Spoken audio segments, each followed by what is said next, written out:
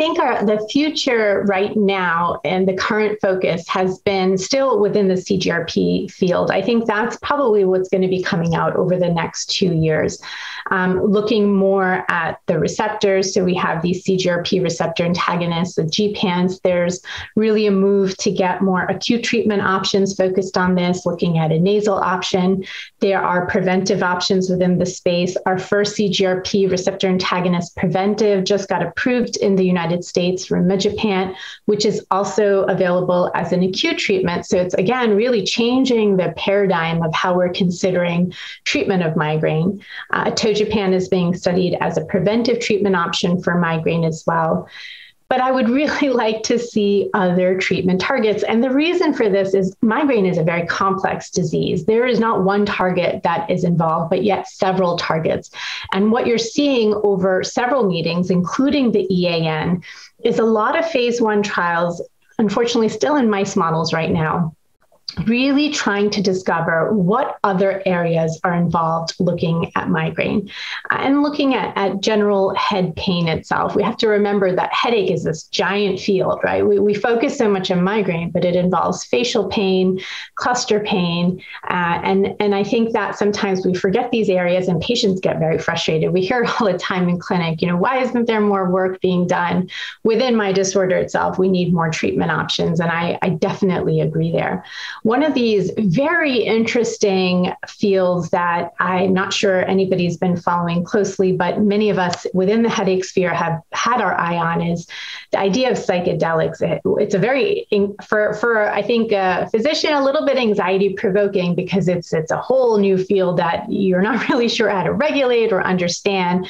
But there's been a lot of movement within the mood disorder field, anxiety, depression, refractory depression, and the use of ketamine and LSD and psilocybin. Well, we know that mood disorders and migraine and sometimes clusters, some of these have similar receptors that are involved dopamine, serotonin. And for a long time, we've known that for some of our more refractory chronic migraine and chronic cluster cases, that occasionally these types of treatments can be effective, like ketamine for chronic migraine and even chronic cluster patients and psilocybin and potentially even LSD.